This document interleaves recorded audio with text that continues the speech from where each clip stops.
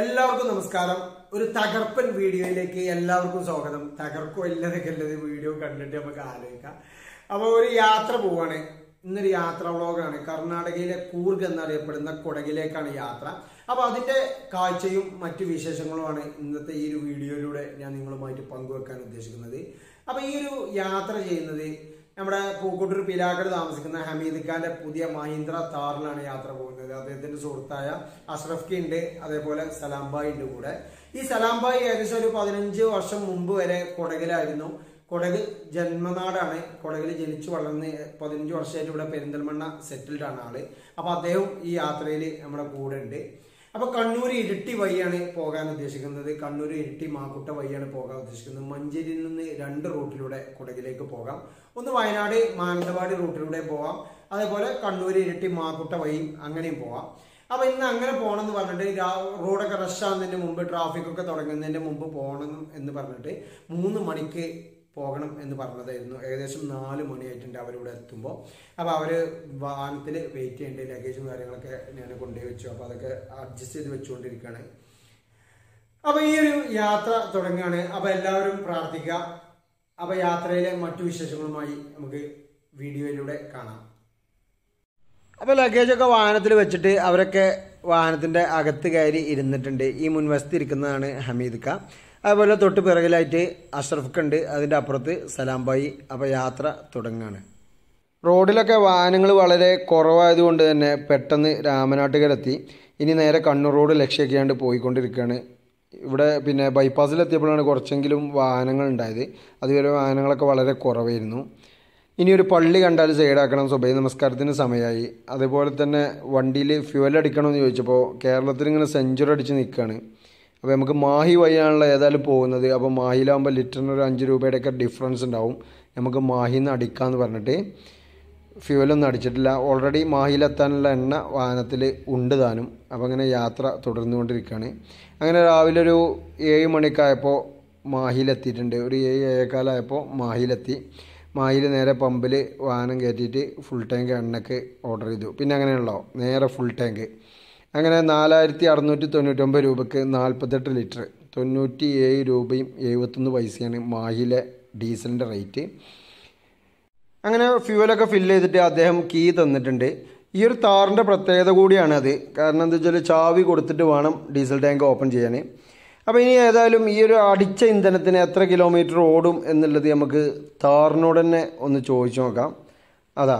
പന്ത്രണ്ട് പോയിന്റ് രണ്ട് kilometre per litre വെച്ചിട്ട് അറുന്നൂറ്റി നാല് കിലോമീറ്റർ ഓടാനുള്ള ഇന്ധനം വാഹനത്തിൽ ഫില്ലായിട്ടുണ്ട് അപ്പോൾ ഇനി നമുക്ക് ധൈര്യത്തോടെ ഒരു അറുന്നൂറ്റി നാല് കിലോമീറ്റർ ഇനി ആരോടും ചോദിക്കാതെ നല്ല ഉഷാറായിട്ട് ഓടിക്കാം എന്നുള്ളതാണ്.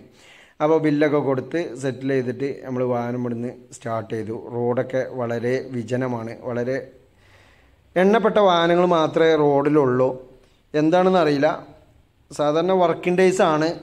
എങ്കിലും പിന്നെ വാഹനങ്ങൾ വളരെ കുറവാണ്. അപ്പോൾ ഇനി അങ്ങനെ യാത്ര തുടർന്നുകൊണ്ടിരിക്കുകയാണ്. ബ്രേക്ക്ഫാസ്റ്റ് കഴിക്കണം. അപ്പോൾ കുറച്ച് സ്നാക്സും കാര്യങ്ങളൊക്കെ നമ്മുടെ വാഹനത്തിൽ സ്റ്റോക്ക് ഉണ്ട് അതുപോലെ അഷ്റഫ് ക നല്ല അടിപൊളി കോഫിയൊക്കെ ഉണ്ടാക്കിയിട്ടുണ്ട്. അപ്പോൾ അതൊക്കെ വാഹനം എവിടെയെങ്കിലും പാർക്ക് ചെയ്തിട്ട് അതൊക്കെ കുടിച്ചിട്ട് അങ്ങനെ പോവാം. നമുക്ക് നല്ലൊരു ഹോട്ടൽ കണ്ടാൽ ഭക്ഷണമൊക്കെ കഴിക്കാമെന്ന് പറഞ്ഞിട്ട് യാത്ര അങ്ങനെ തുടരുകയാണ് അങ്ങനെ പോകുമ്പോഴാണ് ഒരു റെയിൽ പാളം റെയിൽവേ ക്രോസ് വന്നിട്ട് നമ്മൾ ഫസ്റ്റ് വാഹനം റെയിൽവേ ക്രോസിന്റെ ഫ്രണ്ടിൽ വന്നിട്ട് നമ്മുടെ വാഹനം ഫസ്റ്റ് ആയിട്ട് വന്ന് നിൽക്കുന്നത് അങ്ങനെ തലശ്ശേരി റെയിൽവേ ക്രോസിന്റെ അവിടെ നിൽക്കുന്നത് അപ്പോൾ ഇനി ട്രെയിൻ വരുന്നൊന്ന് കാണാം അല്ലേ? ഇറങ്ങിയാണ്ട് പത്തിന്റെ ടൈമല്ലേ ട്രെയിൻ വരുന്നൊന്ന് കാണാം. ഏതായാലും അസർഫാക്കിയൊക്കെ ഇറങ്ങുന്നുണ്ട് എന്ന് പറഞ്ഞു. വണ്ടി കഴിക്കുന്നുണ്ട് ഏകദേശം രണ്ട് വർഷത്തോളമായി ഒരു ട്രെയിൻ യാത്ര ചെയ്തിട്ട് ഈ ഒരു കൊറോണ വന്നതിന് ശേഷം ട്രെയിനിൽ യാത്ര ചെയ്തിട്ടില്ല. നന്നായിട്ട് മിസ് ചെയ്യുന്നുണ്ട്. ഫ്രണ്ട്സിന്റെ ഒക്കെ കൂടെയാണെന്നുണ്ടെങ്കിൽ പറയേണ്ടതില്ലല്ലോ. ട്രെയിൻ യാത്ര എന്ന് പറഞ്ഞാൽ അതിന്റെ ഒരു അനുഭവം അത് വേറെ തന്നെയാണ്. ഇവിടെ ആളുകളൊക്കെ ഈ റെയിൽവേ ക്രോസ് അടച്ചിട്ടിരിക്കുകയാണ്. ട്രെയിൻ വരാൻ സമയമായിട്ടുണ്ട്. എന്നിട്ടും ആളുകൾ വളരെ കെയർലെസ് ആയിട്ടാണ് ഈ ഒരു റെയിൽവേ ക്രോസ് പിന്നെ റെയിൽവേന്റെ നടുവിലൂടെയൊക്കെ നടന്നു പോകുന്നത്. അപ്പോൾ ആ പയ്യൻ തന്നെ ആ ട്രെയിൻ അവിടുന്ന് വരുന്നത് കണ്ടിട്ടാണ് ആ പാളത്തിൽ നിന്ന് മാറി നടന്നത്. അപ്പോൾ എന്താണെന്ന് അറിയില്ല ഈ ഒരു ട്രെയിൻ വരുന്നത് കാണാൻ കഴിയുന്നോ? അല്ലെങ്കിൽ അവിടുന്ന് മാറാൻ സാധിക്കുന്നില്ല കോൺഫിഡൻസ് ആയിരിക്കും. അങ്ങനെ ആളുകളൊക്കെ അത്ര കെയർലെസ് ആയിട്ട് റെയിൽവേ ക്രോസ് ചെയ്യണത്. ഏതായാലും വലിയൊരു ട്രെയിൻ എവിടെ നിന്ന് എവിടേക്ക് പോകുന്ന ട്രെയിനാണെന്നൊന്നും അറിയില്ല. എങ്കിലും ഈ ഒരു പോക്ക് കാണാൻ ഭയങ്കര രസമാണ്. ഈ ട്രെയിൻ ഇങ്ങനെ പോകുന്നത് നോക്കിയിരിക്കാൻ തന്നെ ഒരു പ്രത്യേക ഫീലാണ് അങ്ങനെ കൂർഗിലേക്കുള്ള യാത്രാ മധ്യേ ചെക്ക് പോസ്റ്റൊക്കെ കഴിഞ്ഞു. ചെക്ക് പോസ്റ്റിലെ എല്ലാ പ്രൊസീജിയറും അതായത് R T P C R ഉണ്ടെന്നുണ്ടെങ്കിൽ അവിടുന്ന് ഒരു ടോക്കണൊക്കെ എടുക്കണം. ആ ടോക്കൺ നമ്പറൊക്കെ എടുത്ത് ചെക്ക് പോസ്റ്റൊക്കെ കഴിഞ്ഞ് നേരെ ഒരു തടാകത്തിന്റെ ഫ്രണ്ടിൽ ലേക്ക് വ്യൂ എന്ന് പറഞ്ഞൊരു റെസ്റ്റോറന്റ് ഉണ്ട്. അവിടെ ഭക്ഷണം കഴിക്കാൻ വേണ്ടിയിട്ട് വണ്ടി സൈഡാക്കിയിട്ടുണ്ട് അപ്പോൾ നമ്മുടെ കൂടെയുള്ള ഹമീദാക്ക അതേപോലെ അഷറുബായി സലാംബായി ഒക്കെ ഇറങ്ങിപ്പോയിട്ടുണ്ട്. ഇവരൊക്കെ ഭക്ഷണം കഴിക്കാൻ വേണ്ടിയാണ്ട് ഹോട്ടലിന്റെ ഉള്ളിലേക്ക് കയറി. അപ്പോൾ ഞാൻ ഇവിടെ ഈ മുമ്പിലെ തടാകം ഒന്ന് കണ്ടപ്പോൾ ഞാൻ കാണിച്ചു തരാം. ഈ ഒരു തടാകം കണ്ടപ്പോൾ അത് കാണാൻ വേണ്ടി ഇങ്ങനെ റോഡിലേക്ക് വന്നതാണ്. ഇതാണ് ആ തടാകം. നല്ല അടിപൊളി വ്യൂ ആണ് കേട്ടോ നല്ലൊരു കാലാവസ്ഥയും ക്ലൈമറ്റ് മൊത്തത്തിൽ ചേഞ്ചായി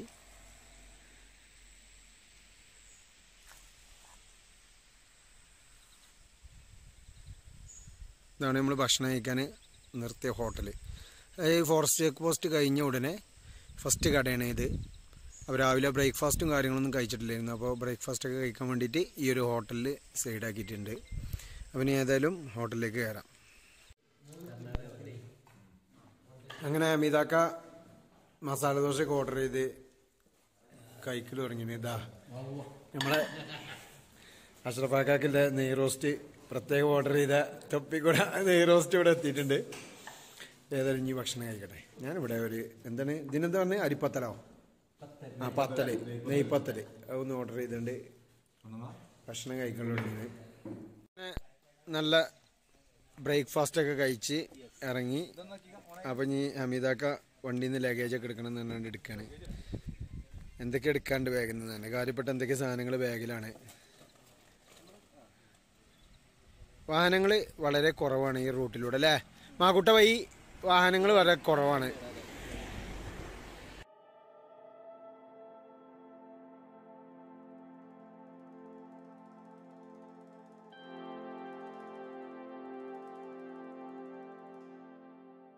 ലേക്ക് വ്യൂ എന്ന് പറഞ്ഞ ഹോട്ടലിൽ നിന്ന് ഭക്ഷണമൊക്കെ കഴിച്ച് അപ്പോൾ വണ്ടി വാഹനം സ്റ്റാർട്ട് ചെയ്ത് ഇവിടുന്ന് യാത്ര തുടരാണ്.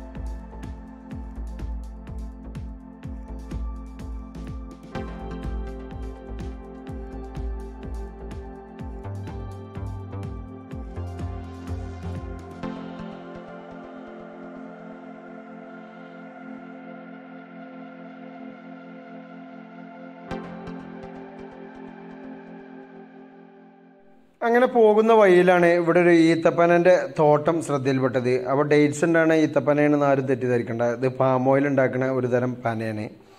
ഞാനിത് കണ്ട് കണ്ട് ഈത്തപ്പനയാണെന്ന് കരുതിയാണ് സൈഡാക്കിയാണ് വാഹനം. അപ്പോഴാണ് ഇവിടെ ഒരാൾ പറഞ്ഞത് അത് പാം ഓയിൽ ഉണ്ടാക്കുന്ന ഒരു പനയാണ് അതിന്റെ കൃഷിയാണെന്ന് പറഞ്ഞു. ഈ ഒരു കായലിൽ നിന്നാണ് ഓയിൽ ഉണ്ടാക്കുന്നതെന്നൊക്കെ പറഞ്ഞു. ഏതായാലും എനിക്ക് ഇതൊരു പുതിയ അറിവാണ്. ഞാൻ ആദ്യമായിട്ട് കാണുകയാണ്. അങ്ങനെ അവിടുന്ന് വാഹനടുത്ത് ഇങ്ങനെ പോരുമ്പോൾ ഇവിടെ ഒരു ഹോസ്പിറ്റൽ ശ്രദ്ധയിൽപ്പെട്ടു. അപ്പോൾ ആ ഹോസ്പിറ്റൽ കണ്ടപ്പോൾ ജസ്റ്റ് ഹോസ്പിറ്റലിന്റെ അകത്തേക്കൊന്ന് വാഹനം കയറ്റിയിട്ട് ആ ഹോസ്പിറ്റലിന്റെ ആംബിയൻസ് ഒന്ന് കണ്ടിട്ട് പോകാമെന്ന് പറഞ്ഞു. അങ്ങനെ ഹോസ്പിറ്റലിന്റെ അകത്തേക്ക് വാഹനം കയറ്റി. ഇനി ഞങ്ങൾ ഇവിടെ നിന്ന് നേരെ പോകുന്നത് സിദ്ധാപൂരിലേക്കാണ്. സിദ്ധാപൂരിൽ നമ്മുടെ സലാംബായിന്റെ ഒത്തിരി ഫ്രണ്ട്സൊക്കെ ഉണ്ട് അവിടെ. അദ്ദേഹം ഇവിടുത്തുകാരനാണ് എന്ന് ഞാൻ ആദ്യം പറഞ്ഞല്ലോ. അപ്പോൾ അദ്ദേഹത്തിന്റെ ഒരുപാട് ഫ്രണ്ട്സ് ഉണ്ട്. അപ്പോൾ അവിടെ നിന്ന് കുറച്ച് കോഫിയുടെ പൗഡർ അതേപോലെ കുറച്ച് സ്പൈസസ് ഒക്കെ മേടിക്കാമെന്ന് പറഞ്ഞിട്ട് സിദ്ധാപൂർ ടൗണിൽ വന്നു. അങ്ങനെ അദ്ദേഹത്തിന്റെ സുഹൃത്തുക്കളൊക്കെ അദ്ദേഹം ഫോൺ ചെയ്തു. അങ്ങനെ ഒരു സുഹൃത്ത് ഇവിടെ വന്നിട്ടുണ്ട്. അങ്ങനെ ഈ ഒരു കടയിൽ നിന്നാണ് സാധനം മേടിക്കുന്നത്. കൂർഗ് സ്പൈസ് ഹൗസ് എന്ന് പറഞ്ഞിട്ട്. അവിടെ മുമ്പിലൊരു കോഫി പൊടിക്കുന്ന മെഷീനൊക്കെ ഉണ്ട്. അപ്പോൾ നമുക്ക് ജസ്റ്റ് ഷോപ്പിന്റെ അകത്തേക്കൊന്ന് കയറി നോക്കാം. എന്നിട്ട് പിന്നെ ഇവിടുന്ന് കോഫി പൗഡറും മറ്റ് സാധനങ്ങളൊക്കെ ഇവിടുന്ന് മേടിക്കുകയാണ് നല്ലത് എന്ന് സലാം ഭായി പറഞ്ഞു.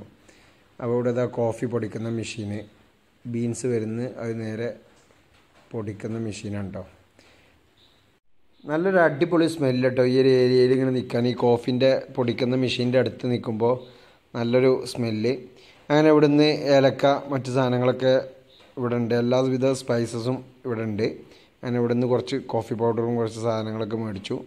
അപ്പോൾ അദ്ദേഹം പറഞ്ഞു ഇവിടെ സ്വന്തമായിട്ട് ഉണ്ടാക്കുന്ന ഞങ്ങൾ ഉണ്ടാക്കുന്ന വൈനുണ്ട് അതായത് ഈസ്റ്റും പിന്നെ ആൽക്കഹോളൊന്നും ചേർക്കാത്ത നല്ല അടിപൊളി വൈനുണ്ട് സാമ്പിൾ നമുക്ക് കഴിക്കാം എന്ന് പറഞ്ഞിട്ട് അദ്ദേഹം ഈ ഒരു ഷോപ്പിന്റെ പിറകിലേക്ക് കൂട്ടിക്കൊണ്ടുപോയി. ഇവിടെ കുറേ മഞ്ഞളൊക്കെ പൊടിച്ചു വെച്ചിട്ടുണ്ട്. അപ്പോൾ ഇതാണ് അദ്ദേഹത്തിന്റെ വൈനിന്റെ കളക്ഷൻ അതിന് എല്ലാവർക്കും എല്ലാ ഏത് വേണ്ടതെന്നുണ്ടെങ്കിലും ഒക്കെ അതിന് പേര് ഇതിന്റെ കോഫി അതേപോലെ ജിഞ്ചർ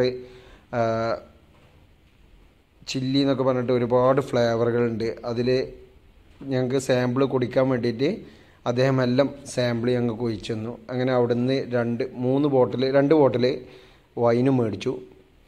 അങ്ങനെ അവിടുന്ന് നേരെ യാത്ര വീണ്ടും നമ്മുടെ സലാംബായിന്റെ അമ്മായിന്റെ വീട്ടിലേക്കാണ് ഇനി ഇവിടുന്ന് നേരെ പോകുന്നത്. നെല്ലൊതുക്കേരി എന്ന് പറഞ്ഞ പ്രദേശത്താണ് അമ്മായിന്റെ വീട്. അങ്ങനെ അവിടെ എത്തി വാഹനം അവിടെ പാർക്ക് ചെയ്തപ്പോൾ ഇവിടെയുള്ള കുട്ടികളൊക്കെ താറ് വാഹനം കണ്ടിട്ടില്ല എന്ന് പറഞ്ഞു. അങ്ങനെ അവരൊക്കെ വാഹനം കാണാൻ വേണ്ടിയിട്ട് ഓടിക്കൂടി.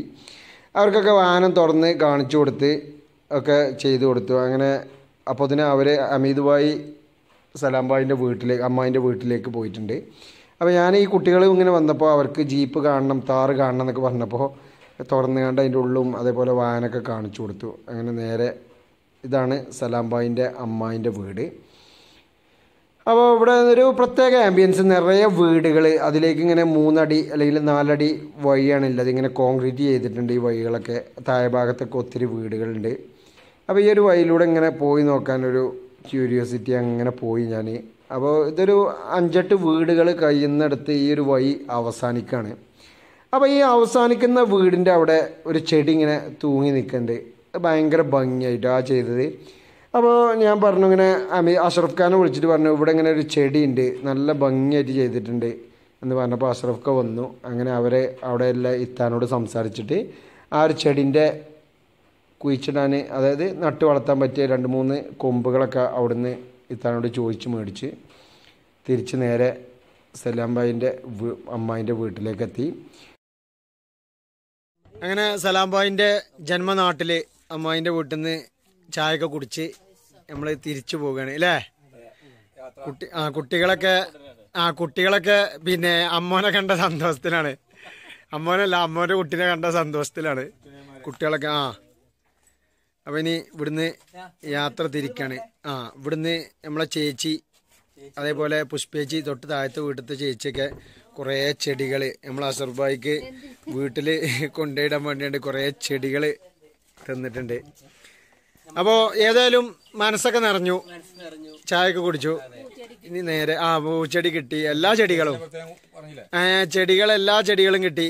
ചേച്ചി പിന്നെ ഓടിപ്പോയി. എന്താ അവക്കടന്റെ തൈ അതേപോലെ ഒരുപാട് ചെടികൾ കൊണ്ടുവന്നു ആ മലപ്പുറത്ത് ഇരുപത് വർഷങ്ങൾക്ക് മുമ്പ് മലപ്പുറത്ത് പെരിന്തൽമണ്ണ ഭാഗത്തൊക്കെ ജോലിയൊക്കെ അന്വേഷിച്ച് വന്നിരുന്നു എന്നൊക്കെ ചേച്ചി പറയുന്നുണ്ട് അല്ലേ ആയിക്കോട്ടെ. ഏതായാലും സന്തോഷം എല്ലാവരെയും പരിചയപ്പെട്ടതിൽ അപ്പം ഞങ്ങൾ ഇവിടുന്ന് യാത്ര പറഞ്ഞ് ഇറങ്ങാണ്.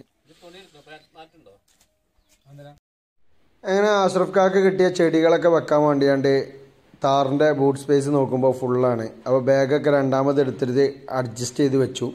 എല്ലാവരും ലഗേജ് എടുത്തിട്ടുണ്ട്. രണ്ട് ദിവസം നിൽക്കാനുള്ള യാത്ര ആയതുകൊണ്ട് തന്നെ എല്ലാവരും രണ്ട് കൂട്ടർ ഡ്രസ്സൊക്കെ എടുത്തുകൊണ്ട് ഓൾറെഡി ബാക്ക് പാക്ക് റെഡിയാക്കി ഡിക്കിൽ വെച്ചിട്ടുണ്ട്. അതിനുള്ള സ്പേസ് ഈ താറിന് ബൂട്ട് സ്പേസ് ഉള്ളൂ. അങ്ങനെ ഇവിടുന്ന് എല്ലാവരും യാത്ര പറഞ്ഞ് യാത്ര ഇങ്ങനെ തുടർന്നുകൊണ്ടിരിക്കുമ്പോഴാണ് ഒരു ജംഗ്ഷനിൽ നിന്ന് ഒരു ബോർഡ് ശ്രദ്ധയിൽപ്പെട്ടത്. വിന്റേജ് കാർസിന്റെ ഒരു ബോർഡ്.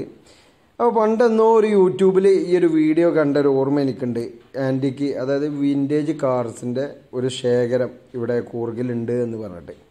അപ്പോൾ ഞാൻ സലാം ഭായിനോട് ചോദിച്ചപ്പോൾ അദ്ദേഹത്തിന്റെ മകന് ഒരു പി സി ഐമുട്ടി ഹാജി എന്ന് പറഞ്ഞ ആളാണ് ഇതിന്റെ കാറിന്റെ ശേഖരം ഉള്ളത്. അദ്ദേഹത്തിന്റെ മകൻ അഷ്റഫ് സലാം ഖാന്റെ ഫ്രണ്ടാണെന്ന് പറഞ്ഞു. അങ്ങനെ ആ കാറിന്റെ കളക്ഷൻ കാണാൻ വേണ്ടിയിട്ട് അദ്ദേഹത്തിന്റെ വീട്ടിലേക്ക് പോവുകയാണ്. ഏകദേശം മെയിൻ റോഡിൽ നിന്ന് ഇങ്ങോട്ട് അത്തിമംഗലം എന്ന് പറഞ്ഞൊരു ജംഗ്ഷൻ ഉണ്ട്. അവിടുന്ന് മെയിൻ റോഡിൽ നിന്ന് ഒരു കിലോമീറ്ററിൽ അധികം ഉണ്ട് ഈ ഒരു വീട്ടിലേക്കുള്ള ദൂരം. അങ്ങനെ ഇവിടെ വാഹനം പാർക്ക് ചെയ്യാനുള്ള സ്പേസ് ഉണ്ട്. ഇതാണ് അദ്ദേഹത്തിന്റെ വീട്. ഈ ഒരു വീടിന്റെ മുമ്പിൽ വാഹനം പാർക്ക് ചെയ്തിട്ട് വേണം താഴേക്ക് പോകാൻ ഈ ഒരു വീടിന്റെ സൈഡിലായിട്ട് ഒരു കാർ പോർച്ച് ഉണ്ട്. അതിൽ ഒരുപാട് കാലം പഴക്കമുള്ള ഒരു കുതിരവണ്ടി നിർത്തിയിട്ടിട്ടുണ്ട്. ഇനി ഇവിടെ നിന്ന് നേരെ താഴേക്ക് വാഹനം പോകില്ല അവിടെ ഒരു ബ്ലോക്ക് ചെയ്തിട്ടുണ്ട് വാഹനം പോകാതിരിക്കാൻ വേണ്ടിയിട്ട്. ഇനി ഇവിടെ നിന്ന് നേരെ താഴെ പോയിട്ട് അവിടെ നിന്ന് ടിക്കറ്റ് എടുത്തിട്ട് വേണം. വിന്റേജ് കാറിന്റെ കളക്ഷൻ അതിന്റെയും താഴെ ഒരു ഷെഡിലാണ് ഈ കാറുകളൊക്കെ സൂക്ഷിച്ചിട്ടുള്ളത്. അപ്പോൾ അവിടേക്ക് പോവുകയാണ്. ഇവിടെ ഒരു ബോർഡ് എഴുതി വെച്ചിട്ടുണ്ട്. അവിടെ ടിക്കറ്റ് കൗണ്ടറിലേക്കുള്ള ഒരു ആരോ മാർക്ക് കൊടുത്തിട്ടുണ്ട്. അതേപോലെ വിന്റേജ് കാർസിന്റെ ചെറിയൊരു ഹിൻസ് ഇവിടെ ഒരു ബോർഡിൽ എഴുതി വെച്ചിട്ടുണ്ട്. അങ്ങനെ ഇവിടുന്ന് നേരെ താഴേക്ക് ഇറങ്ങി. എല്ലാവരും പിന്നെ ഹമീദിക്ക് അതേപോലെ സലാം ഭായി അഷ്റഫിക്കൊക്കെ താഴേക്ക് പോകുന്നുണ്ട്. അപ്പോൾ അവരുടെ കൂടെ ഇങ്ങനെ താഴേക്ക് ഇറങ്ങിയപ്പോൾ ഇവിടെ ഒരു ടിക്കറ്റ് കൗണ്ടർ ഒരു കെട്ടിടായിട്ട് ടിക്കറ്റ് കൗണ്ടർ ഉണ്ട്. അപ്പോൾ വെറും ടിക്കറ്റ് കൗണ്ടർ മാത്രമല്ല അതിന്റെ തൊട്ടപ്പുറത്തെ റൂമിൽ ഗ്ലാസ് ഒക്കെ ഇട്ടിട്ട് കുറച്ച് ആന്റി കളക്ഷൻസ് റേഡിയോ അതേപോലെ ഹാർമോണിയം പഴയ കാലത്തെ ഗ്രാമഫോൺ അങ്ങനെ കുറച്ച് സാധനങ്ങൾ ഈ ഒരു റൂമിൽ ഗ്ലാസ് ഇട്ടിട്ട് വെച്ചിട്ടുണ്ട്. അപ്പോൾ ഇത് ഓപ്പൺ ചെയ്ത് കൊടുക്കലില്ല എന്ന് പറഞ്ഞു. കാരണം അതിൽ നിന്ന് സാധനങ്ങളൊക്കെ മിസ്സായിട്ടാണോ? മിസ്സാകുന്നുണ്ട്. അതേപോലെ ആളുകൾ സാധനങ്ങൾ തൊട്ടിട്ട് ഡാമേജ് ആക്കുന്നുണ്ട്. അതുകൊണ്ട് ഓപ്പൺ ചെയ്ത് കൊടുക്കുന്നില്ല എന്ന് പറഞ്ഞു. കുറേ കാലമായിട്ട് ക്ലോസ് ചെയ്ത് വെച്ചിട്ടുള്ളത്. അതിന്റെ തൊട്ട് ഇപ്പുറത്തായിട്ടുള്ള റൂമിൽ ഒരു പഴയ കാലത്തെ ഒരു പ്രൊജക്ടർ ഒരു ഏതൊരു ആസാദ് ഹിന്ദു ഗ്രൂപ്പ് എന്ന് പറഞ്ഞിട്ട് ഡൊണേറ്റ് ചെയ്ത ഒരു പഴയ കാലത്തെ ഒരു തിയേറ്ററിലൊക്കെ ഉപയോഗിച്ചിരുന്ന വലിയൊരു പ്രൊജക്ടർ ഉണ്ട് ഇവിടെ. പിന്നെ ഒരു തുലാസാണെന്ന് തോന്നുന്നു ഈ ഒരു ഭാഗത്ത്. അങ്ങനെ ഇതൊക്കെ കണ്ടിട്ട് നേരെ ഇവിടെ നിന്ന് താഴേക്ക് ഇറങ്ങുമ്പോഴാണ് നൂറ് രൂപയുടെ ടിക്കറ്റ് എടുത്തു. അങ്ങനെ താഴേക്ക് ഇറങ്ങുമ്പോഴാണ് അഷറഫ്ക്ക ഒരു കാര്യം കാണിച്ചു തന്നത്. ഈ ഒരു കെട്ടിടത്തിന്റെ തൊട്ട് പിറകിലായിട്ട് കാപ്പിയുടെ ചെടികൾ അതായത് തൈകൾ നട്ട് വളർത്തുന്നുണ്ട്. അപ്പോൾ അതൊന്ന് ജസ്റ്റ് ഒന്ന് കണ്ടു. ഇതാണ് കാപ്പിയുടെ തൈകളാണ്. ഇതിവിടെ നട്ട് വളർത്തിയതിന്റെ ശേഷം അത് പിന്നെ പിരിച്ച് തോട്ടത്തിലൊക്കെ പോയിട്ട് കൃഷി ചെയ്യുകയാണ് പതിവ്. പിന്നെ ഈ ഒരു ഭാഗത്ത് രണ്ട് കുതിരവണ്ടിന്റെ നാല് വീലുണ്ട്. അങ്ങനെ അവിടെ നിന്ന് നേരെ താഴേക്ക് ഒരു മുപ്പത് മീറ്ററും കൂടി താഴേക്ക് ഇറങ്ങിയിട്ടാണ് നമ്മുടെ അയ്മുട്ടി ആജിയുടെ വിന്റേജ് കാർ കളക്ഷൻ സ്ഥിതി ചെയ്യുന്ന ആ ഒരു കെട്ടിടം. അപ്പോൾ അത് ലക്ഷ്യമാക്കിയാണ്ട് ഇങ്ങനെ നടന്നു നീങ്ങി. നല്ലൊരു അടിപൊളി കാലാവസ്ഥ. നല്ല തണുപ്പുണ്ട്. അതേപോലെ തന്നെ വെയിലും കാര്യങ്ങളൊന്നുമില്ല. നല്ല അടിപൊളി ഒരു കാലാവസ്ഥ. ഈ ഒരു മൊത്തത്തിൽ പി സി അയമുട്ടി ഹാജിയുടെ ഈ ഒരു വീടും അതേപോലെ ഈ ഒരു ഷെഡൊക്കെ സ്ഥിതി ചെയ്യുന്ന സ്ഥലം എത്ര ഉണ്ടെന്ന് ചോദിച്ചപ്പോൾ ഏകദേശം ഇരുപത് ഏക്കറോളം ഉണ്ട് അതിൽ ഫുള്ള് കാപ്പി കൃഷിയാണ്. ഈ ഒരു ഭാഗത്ത് വിന്റേജ് കാറിന്റെ കളക്ഷന് വേണ്ടിയിട്ട് കുറച്ച് ഭാഗം ഒരു ഷെഡ് കെട്ടിയിട്ട് നിർത്തിയിട്ടുണ്ട്. ബാക്കിയുള്ള ഭാഗത്തൊക്കെ കൃഷിയാണ്. കാപ്പി അതേപോലെ കുരുമുളക് കാര്യങ്ങളൊക്കെ കൃഷി ചെയ്തിട്ടുണ്ട്. ഈ ഒരു ഷെഡിന്റെ ഉള്ളിൽ ഏകദേശം അമ്പതോളം വാഹനങ്ങളുണ്ട്. അതേപോലെ കുറ- പുറത്ത് ഇതിന്റെ താഴെ ഭാഗത്ത് കുറച്ച് വാഹനങ്ങൾ വേറെയും ഉണ്ട്. ചതിക്കേരി എന്ന് പറഞ്ഞ സ്ഥലത്ത് അത്തിമംഗലം എന്ന് പറഞ്ഞ ജംഗ്ഷനിൽ നിന്ന് കുറച്ച് ഉള്ളോട്ട് പോന്നു കഴിഞ്ഞാൽ ഇവിടെ പി സി അയ്മുട്ടി ഹാജിയുടെ വിന്റേജ് കാർ കളക്ഷൻ ഉണ്ട്. അത് കാണാൻ വേണ്ടി വന്നതാണ്. അപ്പോഴാണ് ഇദ്ദേഹത്തെ പരിചയപ്പെട്ടത്. നിങ്ങളുടെ പേര്? കുഞ്ഞാലി എന്ന് പറഞ്ഞിട്ട് ഒരാൾ. നമ്മുടെ മുള്ളമ്പാറ സ്വദേശിയാണ്. മഞ്ചേരി മുള്ളമ്പാറ സ്വദേശിയാണ്. ഏകദേശം നാൽപ്പത് വർഷം മുമ്പ് മുള്ളമ്പാറ ആയുർവേദ ഹോസ്പിറ്റലിന്റെ അവിടെ ആയിരുന്നു മൂപ്പര് താമസിച്ചിരുന്നത്. അപ്പോൾ അങ്ങനെ പരിചയപ്പെട്ടപ്പോൾ മുള്ളമ്പാറയാണ് മഞ്ചേരി മുള്ളമ്പാറയാണെന്ന് പറഞ്ഞപ്പോൾ ഞാൻ അദ്ദേഹത്തെ പരിചയപ്പെട്ടു. അങ്ങനെ ഇതിലേക്കുള്ള എൻട്രി അവിടെ മുകളിൽ നൂറ് രൂപയാണ് ഒരാൾക്ക് ഫീസ്. അങ്ങനെ ഞങ്ങൾ ഈ കാറ് കളക്ഷൻ കാണാൻ വേണ്ടിയിട്ട് ഇവിടെ താഴെ വലിയൊരു ഷെഡാണ് കേട്ടോ പി സി അയ്മുട്ടി ഹാജി മരണപ്പെട്ടിട്ടുണ്ട്. അദ്ദേഹത്തിന്റെ മകൻ അഷ്റഫ് അല്ലേ? അഷ്റഫാണ് ഇപ്പോൾ ഇതിന്റെ കാര്യങ്ങളൊക്കെ കൈകാര്യം ചെയ്യുന്നത്. അപ്പോൾ ഏതായാലും നമുക്ക് ഇതിന്റെ ഉള്ളിലുള്ള അടിപൊളി വിന്റേജ് കാറുകളൊക്കെ നമുക്കൊന്നും ഒരിക്കലും സങ്കല്പിക്കാൻ പോലും പറ്റാത്ത അത്രയും പിന്നെ പഴക്കങ്ങളുള്ള ഒരുപാട് കാറുകളുണ്ട്. നല്ല റിയാലിറ്റി ഒറിജിനൽ കണ്ടീഷനിൽ അപ്പോൾ ആ വാഹനങ്ങളാണ് ഇന്ന് നിങ്ങളുമായിട്ട് ഷെയർ ചെയ്യുന്നത്. അപ്പോൾ നമുക്ക് ആ വാഹനങ്ങളൊന്ന് കാണാം. അപ്പോൾ ഈ ഒരു ഷെഡിന്റെ ഉള്ളിൽ ഇവിടെ ഒരു സ്കൂട്ടർ നിർത്തിയിട്ടുണ്ട്. അതിന്റെ പിറകിലായിട്ട് ഒരു ബാരിക്കേഡ് വെച്ചിട്ട് അതിന്റെ അപ്പുറത്താണ് കാറുകളൊക്കെ സ്ഥിതി ചെയ്യുന്നത്. അപ്പോൾ ആളുകൾ വന്നിട്ട് ഡോറ് തുറന്നിട്ടും അതിന്റെ ഉള്ളിൽ കയറി ഇരുന്നിട്ടൊക്കെ ആയിരിക്കും ഇവിടെ ഒരു ബാരിക്കേഡ് വെച്ചിട്ട് ഈ ഒരു ഭാഗം ക്ലോസ് ചെയ്തിട്ടുണ്ട്. ഭയങ്കര അത്ഭുതമാണ് കേട്ടോ. ഇത്രയും പഴക്കമുള്ള വാഹനങ്ങൾ എല്ലാവിധ റണ്ണിങ് കണ്ടീഷനോടും കൂടി സംരക്ഷിച്ചു പോരുക അതും പ്രത്യേകിച്ച് ഒരു വ്യക്തി എന്നുള്ള നിലയ്ക്ക് ചെയ്തു പോവുക എന്ന് പറയുമ്പോൾ ഭയങ്കര അത്ഭുതമാണ്. കാരണം ഒരു ഗവൺമെന്റിന്റെ കീഴിലോ അല്ലെങ്കിൽ ഒരു പിന്നെ ഇതിന്റെ ഒരു ഗ്രൂപ്പിന്റെ കീഴിലൊന്നുമില്ല സിംഗിളായിട്ട് പി സി ഐമുട്ടി ഹാജി എന്ന് പറഞ്ഞ വ്യക്തി അദ്ദേഹത്തിന്റെ ജീവിത കാലഘട്ടത്തിൽ ഓരോരോ നാടുകളിൽ പോയിട്ട് പൈസ കൊടുത്ത് വാങ്ങി അദ്ദേഹം കളക്ട് ചെയ്ത് പോകുന്ന ഒരുപാട് വിന്റേജ് കാറുകളാണ് ഈ കാണുന്നത്. അപ്പോൾ ഈ ഒരു കാറുകളൊക്കെ ഈ ഒരു കണ്ടീഷനോട് കൂടിയിട്ട് നിലനിർത്തി പോരുക. അതായത് അത് ഒരു ഷെഡ് നിർമ്മിച്ചിട്ട് ആ ഷെഡിൽ കൊടുന്നിട്ട് എല്ലാ വാഹനങ്ങളും നിർത്തിയിട്ട് അതിങ്ങനെ മെയിന്റെയിൻ മെയിന്റെയിൻസ് ചെയ്ത് പോവുക എന്ന് പറഞ്ഞാൽ വളരെ അത്ഭുതമായിട്ട് തോന്നും. കാരണം എന്താ വെച്ചാൽ നമ്മളെ കൊണ്ടൊന്നും ചിന്തിക്കാൻ കഴിയില്ല കാരണം ഇത്രയും വില കൊടുത്തിട്ട് എന്തെല്ലാം വില കൊടുത്തിട്ടുണ്ടാവും എന്നില്ല ചിലപ്പോൾ നമുക്ക് സങ്കല്പിക്കാൻ പോലും കഴിയില്ല അത്രയും വില മതിക്കാനാവാത്ത ഒരുപാട് വാഹനങ്ങളുണ്ട് ഈ ഒരു ഷെഡിന്റെ ഉള്ളിൽ കാരണം അതിനൊരു പ്രത്യേകിച്ചൊരു വില നിശ്ചയിക്കാൻ കഴിയില്ല ഈ ഒരു മുമ്പിൽ കാണുന്ന വാഹനം എന്നൊക്കെ പറഞ്ഞാൽ അതിന്റെ സൈസ് അതിന്റെ ഷേപ്പ് കണ്ടാൽ തന്നെ നമുക്ക് അറിയാൻ സാധിക്കും. ഇതിന്റെയൊക്കെ ഗ്രില്ല് ഇങ്ങനൊരു വാഹനം നിരത്തിൽ ഓടിനോ എന്ന് തന്നെ ചിലപ്പോൾ അത്ഭുതപ്പെടും. അത്രയും പഴക്കമുള്ള ഒരുപാട് വാഹനങ്ങൾ ആയിരത്തി തൊള്ളായിരത്തി അമ്പത്തൊന്നിലെ ഒരു വാഹനമാണിത്. അപ്പോൾ ഇങ്ങനത്തെ വാഹനങ്ങളൊക്കെ കളക്ട് ചെയ്ത് കൊണ്ടുവന്നാണ്ട് ഈ ഒരു ഷെഡിൽ സ്വന്തമായിട്ട് ഒരു ഷെഡ് നിർമ്മിച്ച് ആ ഷെഡിൽ ഇങ്ങനെ കളക്ട് ചെയ്ത് ഇപ്പോൾ ഒരാൾ ഒരു വ്യക്തി എന്നുള്ള നിലയ്ക്ക് അദ്ദേഹം കളക്ട് ചെയ്തുകൊണ്ട് ഇത് സൂക്ഷിച്ചു പോകുന്നുണ്ട് എന്ന് പറയുമ്പോൾ നമുക്കൊരു അത്ഭുതം തന്നെയാണ്. അതുപോലെ തന്നെ ഈ ഒരു കാറിന്റെ കാലപ്പഴക്കം അതേപോലെ ഓരോ കാറിന്റെ പേരും കാര്യങ്ങളൊന്നും പറഞ്ഞിട്ട് ഞാൻ വീഡിയോ ലാഗ് ചെയ്യുന്നില്ല. എല്ലാ വാഹനങ്ങളും ഇവിടെ വന്ന് കണ്ടാൽ തന്നെ മനസ്സിലാവുള്ളൂ. നമ്മൾ ജസ്റ്റ് അതിന്റെ പേരും അതേപോലെ ഇയറും മെൻഷൻ ചെയ്തുകൊണ്ട് പ്രത്യേകിച്ച് കാര്യമൊന്നുമില്ല. ഈ ഒരു വാഹനത്തിന്റെ കളക്ഷന് അങ്ങനെ വാഹനപ്രേമികളാണ് എന്നുണ്ടെങ്കിൽ തീർച്ചയായിട്ടും വന്നിട്ട് കാണണം. കാരണം എന്താ വെച്ചാൽ ജീവിച്ചിരിക്കുന്ന കാലഘട്ടത്തിൽ ഇങ്ങനത്തെ ഒരു വാഹനങ്ങൾ റോഡിൽ നിരത്തിൽ ഓടിയെന്ന് പഴയ കാലത്തെ ജെയിംസ് ബോണ്ട് ചിത്രങ്ങളിൽ അതേപോലെ പ്രേം നസീർ സാറിന്റെ ഒക്കെ സിനിമയിലൊക്കെ നമ്മൾ കണ്ടിട്ടുണ്ടാവും. പഴയ കാലത്തെ ഒരുപാട് വാഹനങ്ങൾ അങ്ങനത്തെ വാഹനങ്ങളൊക്കെ ഇന്നും അതേ ഭംഗിയോടെ നിലനിർത്തിയാണ്ട് ഈ ഒരു ഷെഡിൽ നിലനിർത്തിയിട്ടുണ്ട്. എല്ലാ വാഹനവും സ്റ്റാർട്ടിംഗ് ആണ് എന്നാണ് പറഞ്ഞത് കുഞ്ഞിലക ഈ വാഹനങ്ങളൊക്കെ മെയിന്റെയിൻസ് ചെയ്ത് പോകുന്നുണ്ട് എന്നുള്ളതാണ് മറ്റൊരു പ്രത്യേകത. അപ്പോൾ ജസ്റ്റ് ഈ ഒരു ഷെഡിന്റെ ഉള്ളിലെ വാഹനങ്ങൾ ഒറ്റ നോട്ടത്തിൽ ഇങ്ങനെ നമുക്ക് കണ്ടിട്ട് പോവാം.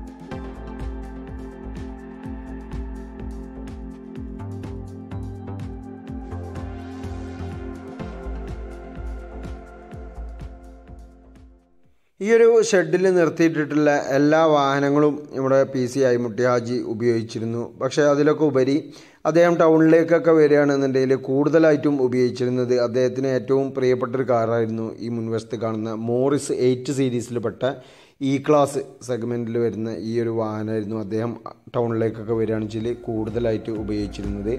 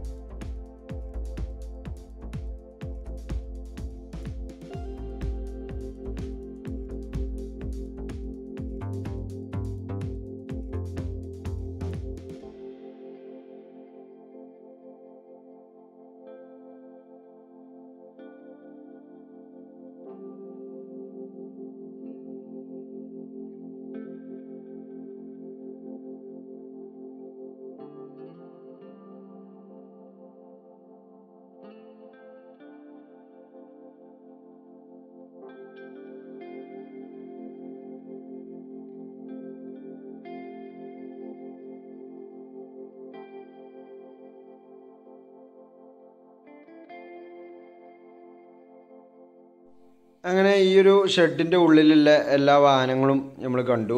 അതുപോലെ തന്നെ ഈ ഒരു ഷെഡിന്റെ തൊട്ട് പിറകിലായിട്ട് ഒരുപാട് വാഹനങ്ങൾ അദ്ദേഹത്തിന്റെ അവസാന കാലഘട്ടത്തിൽ അദ്ദേഹം അന്യ നാടുകളിൽ പോയിട്ട് കളക്ട് ചെയ്ത് കൊണ്ടുവന്ന ഒരുപാട് വിന്റേജ് കാറുകൾ ഈ ഒരു ഷെഡിന്റെ പിറകിൽ നിർത്തിയിട്ടിട്ടുണ്ട്. അതിന്റെയൊക്കെ മെയിന്റനൻസ് വർക്ക് കംപ്ലീറ്റ് ചെയ്തതിന് ശേഷമാണ് അദ്ദേഹം ആ ഷെഡ് മുകളിലത്തെ ഷെഡിലേക്ക് നിർത്തിയിരുന്നത്. അപ്പോൾ അതിന്റെയൊക്കെ വർക്ക് അറ്റകുറ്റപ്പണികൾ നടന്നുകൊണ്ടിരിക്കുന്നതിന്റെ ഇടയിലാണ് അദ്ദേഹം മരണപ്പെട്ടത്. ഇതിവിടെ ഓട്ടോറിക്ഷകൾ അതേപോലെ പഴയ കാലത്തെ ഒരുപാട് കാറുകൾ ഒക്കെ ഇവിടെ ഈ ഒരു ഭാഗത്ത് ഡംപ് ചെയ്ത് വെച്ചിട്ടുണ്ട്. ഇവിടെ ഒരു ടാറ്റയുടെ എസ്റ്റേറ്റ് അതേപോലെ ഒരു പ്രീമിയർ പത്മിനി ഒരുപാട് വാഹനങ്ങൾ അതേപോലെ ലോറി ഒക്കെ ഉണ്ട് ഈ ഒരു ഭാഗത്ത്. അതിന്റെയൊക്കെ വർക്ക് കണ്ടാൽ തന്നെ അറിയാം ഹെഡ്ലൈറ്റ് കാര്യങ്ങളൊന്നുമില്ല അപ്പോൾ അതൊക്കെ കംപ്ലീറ്റ് ചെയ്ത് അതിന്റെ സ്പെയർ പാർട്സുകളൊക്കെ കളക്ട് ചെയ്ത് വർക്ക് എല്ലാം കംപ്ലീറ്റ് ചെയ്തതിന് ശേഷമാണ് അദ്ദേഹം മുകളിലത്തെ ഷെഡിൽ കൊണ്ടുപോയി വാഹനങ്ങൾ നിർത്തിയിട്ടിരുന്നത് എന്നാണ് പറഞ്ഞത്.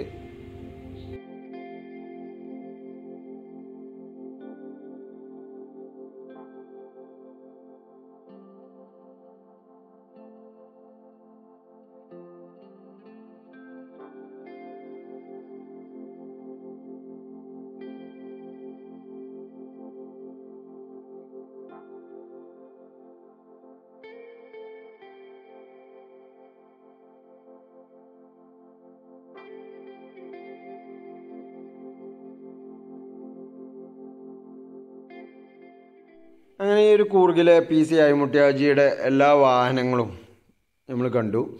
അങ്ങനെ അദ്ദേഹത്തിന്റെ തോട്ടത്തിലെ കാപ്പിയെക്കുറിച്ച് ചോദിച്ചപ്പോൾ രണ്ട് ഐറ്റം കാപ്പികളാണ് ഈ ഒരു തോട്ടത്തിൽ കൃഷി ചെയ്തിട്ടുള്ളത്. ഈ ഒരു കാണുന്നത് റോബസ്റ്റ എന്ന് പറഞ്ഞൊരു ഇനത്തിൽപ്പെട്ട കോഫിയാണ്. ഇത് ജനുവരി മാസത്തിലാണ് ഈ ഒരു കോഫിയുടെ വിളവെടുപ്പ്. വർഷത്തിൽ ജനുവരി മാസം വരുമ്പോഴാണ് ഈ ഒരു കോഫി വിളവെടുക്കുക. അതുപോലെ അറബിക്ക എന്ന് പറഞ്ഞ മറ്റൊരു തരത്തിൽ മറ്റൊരു ഇന ഇനത്തിൽപ്പെട്ട കോഫിയും ഇതിൽ നട്ടുപിടിപ്പിച്ചിട്ടുണ്ട്. ഈ അറബിക്ക ഈ ഒരു മാസത്തിൽ അതായത് ഒക്ടോബർ നവംബർ മാസത്തിലാണ് ഈ അറബിക്കയുടെ വിളവെടുപ്പ്. അങ്ങനെ വർഷത്തിൽ രണ്ടും പിന്നെ ഇത് ഒക്ടോബർ മാസത്തിൽ ഒക്ടോബർ നവംബർ മാസത്തിൽ അറബിക്കയും അതുപോലെ ജനുവരി മാസത്തിൽ റോബസ്റ്റ എന്ന് പറഞ്ഞ ഈ രണ്ട് ഐറ്റം കോഫികളാണ് ഈ ഒരു ഇരുപത് ഏക്കർ തോട്ടത്തിൽ കൃഷി ചെയ്തിട്ടുള്ളത്. അപ്പോൾ ഇതിന്റെ കൂടുതൽ വിവരങ്ങളൊക്കെ അതേപോലെ കുരുമുളക് ഉണ്ട് ഇതിൽ അപ്പോൾ അതിന്റെ കാര്യങ്ങളൊക്കെ നമ്മുടെ കുഞ്ഞാലിക്ക നമുക്ക് നല്ല ഉഷാറായിട്ട് വിശദീകരിച്ചു തന്നു.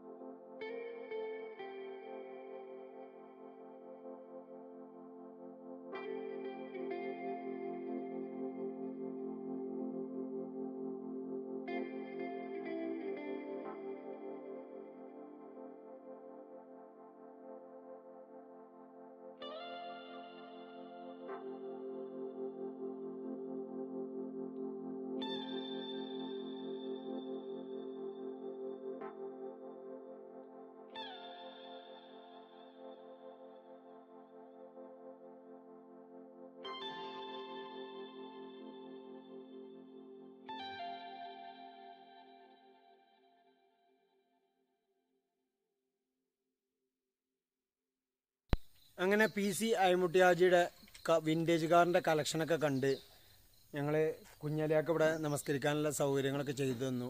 അപ്പോൾ നമസ്കാരം കഴിഞ്ഞ് പോവുകയാണ് അല്ലേ അപ്പോൾ ഇവിടുന്ന് യാത്ര തുടരാണ്. ഇനിയും കൂർഗിലെ മറ്റു വിശേഷങ്ങൾ കൂർഗിലെ ഇനിയും കാഴ്ചകൾ കാണാൻ വേണ്ടിയിട്ട് യാത്ര തുടർന്നുകൊണ്ടേയിരിക്കുകയാണ് ഇന്നത്തെ ഒരു ദിവസം ഫുള്ളായിട്ടാണ് വ്ളോഗ് ചെയ്യണത്. കഴിയുന്ന കാര്യങ്ങളൊക്കെ വീഡിയോയിൽ പകർത്തണം എന്ന് ആഗ്രഹിക്കുന്നുണ്ട് അപ്പോൾ കുഞ്ഞാലേക്കാ ഇൻഷാല്ല കാണാം. അസ്സാം വലൈക്കും അപ്പോൾ കുഞ്ഞാലേക്ക് നമുക്ക് ഒരുപാട് സൗകര്യങ്ങൾ ഇവിടെ ചെയ്തു നമസ്കരിക്കാനും മറ്റൊക്കെ സൗകര്യങ്ങൾ ചെയ്തു വാഹനം കുറച്ച് മുകളിലാണ് പാർക്കിംഗ് ഉള്ളത്. അപ്പോൾ അവിടേക്ക് പോവുകയാണ്.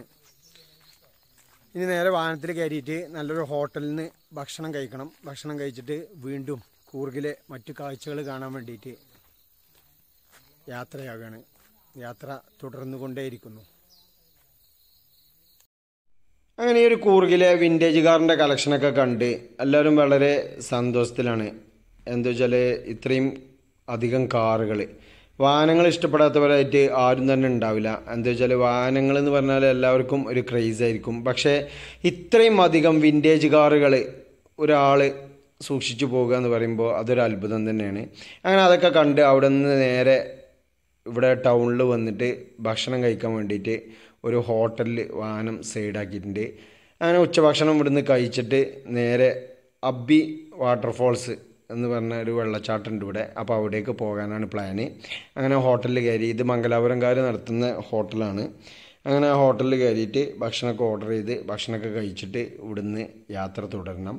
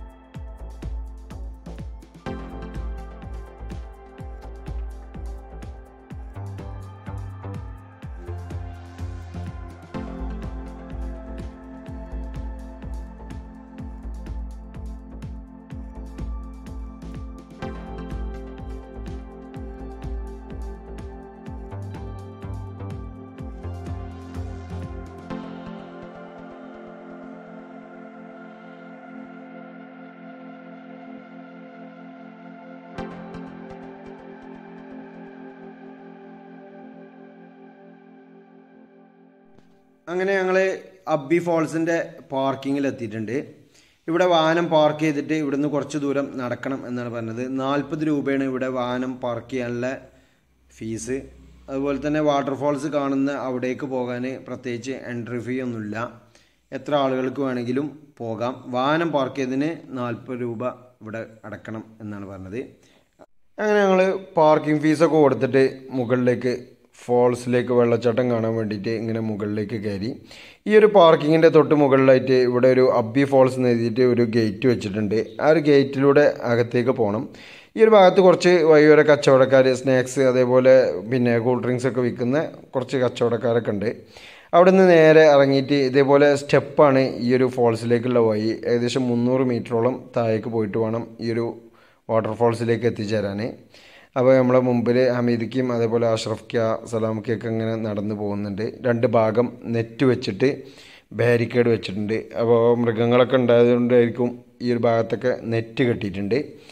ഇനി നേരെ താഴേക്ക് ഞങ്ങൾ ഏകദേശം ഫോൾസിന്റെ മുമ്പിൽ എത്തിയിട്ടുണ്ട് അടിപൊളി വ്യൂ ആണ്. ഒരു രക്ഷയില്ല. ഇവിടെ ഒത്തിരി ആളുകൾ അവിടെ നിന്നിട്ട് ഫോട്ടോ എടുക്കുന്നുണ്ട്. അപ്പോൾ ഈ ഒരു വെള്ളത്തിലേക്ക് ഇറങ്ങാനോ മറ്റോ അനുമതിയില്ല അതുപോലെ തന്നെ ഈ ഒരു ഭാഗം ഈ ഒരു വെള്ളച്ചാട്ടത്തിന്റെ അവിടെ നിന്ന് ക്രോസ് ചെയ്യാൻ വേണ്ടിയിട്ടൊരു പാലുണ്ടായിരുന്നു പക്ഷേ അത് കംപ്ലൈന്റ് ആയിട്ട് ആ ഒരു ഭാഗം ഗവൺമെന്റ് ക്ലോസ് ചെയ്തിട്ടുണ്ട്.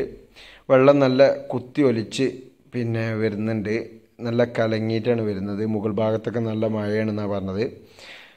നല്ല അടിപൊളി വ്യൂ അതേപോലെ തന്നെ നല്ല എന്താണ് പറയുക ഒരു അടിപൊളി ക്ലൈമറ്റും നല്ല തണുപ്പ് അതുപോലെ ചെറിയൊരു കോടുണ്ട്.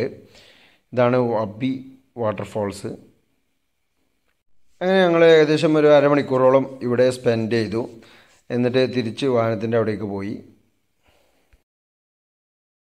അങ്ങനെ അബി വാട്ടർഫോൾസിലൊക്കെ പോയി. വാട്ടർഫോൾസൊക്കെ കണ്ട് തിരിച്ച് വാഹനത്തിന്റെ അടുത്ത് അടുത്ത് എത്തിയിട്ടുണ്ട്. അപ്പോൾ ഇന്നത്തെ കൂർഗിലെ വിശേഷങ്ങൾ ഇവിടെ അവസാനിക്കുകയാണ്. കാരണം ഈവനിങ് ആയി ഏകദേശം ആറു മണിയായി. അപ്പോൾ ഇനി നേരെ റൂം എടുത്തിട്ട് സ്റ്റേ ചെയ്യാനുള്ള മറ്റ് കാര്യങ്ങളിലേക്ക് നീങ്ങാണ്. അപ്പോൾ ഈ ഒരു കൂർഗിലെ വിശേഷങ്ങളാണ് ഇന്ന് നമ്മൾ പങ്കുവച്ചത്. നമ്മുടെ സലാം ഭായി അതേപോലെ അഷ്റഫ് ഭായി ഒക്കെ ഇവിടെ ഉണ്ടാ വാട്ടർഫോൾസ് കാണാൻ പോയിക്കാണ് നടന്ന് വന്ന് നിൽക്കുകയാണ് കുഴഞ്ഞിട്ടൊന്നുമില്ലല്ലോ? ക്ഷീണിച്ചിട്ടൊന്നുമില്ലല്ലോ ഇല്ലല്ലോ. വളരെ കുറച്ച് ദൂരമുള്ളൂ. അതേപോലെ നല്ല സ്റ്റെപ്പ് ഉണ്ട്. എന്താ പറയാൽ? ഇവിടെ നല്ല വൃത്തിയുള്ള ഒരു പരിസരമാണ് രണ്ടാമത് എൻട്രി ഫീസ് ഇല്ല. ഓൺലി പാർക്കിംഗ് ഫീസ് മാത്രം. ഫീസ് പാർക്കിംഗ് ആണ് നല്ല വൃത്തിയുള്ള ഏരിയ പിന്നെ ബാത്റൂം സൗകര്യങ്ങൾ കാര്യങ്ങളൊക്കെ ഉണ്ട്. വെള്ളത്തിലൊക്കെ കുളിക്കേണ്ട ആളുകൾക്കൊക്കെ മറ്റു സൗകര്യങ്ങളൊക്കെ ഉണ്ട്. അപ്പോൾ ഏതായാലും ഇന്നത്തെ വീഡിയോ ഇവിടെ അവസാനിപ്പിക്കുകയാണ്. പുതിയൊരു വീഡിയോയുമായിട്ട് നമുക്ക് വീണ്ടും കാണാം. അതുവരേക്കും എല്ലാവരോടും സ്നേഹം മാത്രം.